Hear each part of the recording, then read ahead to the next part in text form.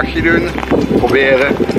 We zijn net gearriveerd bij HW Jachtcharters. Zoals te zien op de achtergrond in Grauw. En we gaan naar ons bootje toe. De auto net hier netjes geparkeerd op de parkeerplaats. Uh, ik ga jullie deze keer proberen een leuk verslag te geven hoe het is om te varen met een huurboot. Dag 4. Deze is gehuurd bij HW Jacht Charter in Grauw. Uh, net bij de receptie geweest, professioneel ontvangst, hebben een iPad meegekregen met de vaarkaart. Instructiefilm erop, mooie folders met mooie routes. Alles is prima uitgelegd.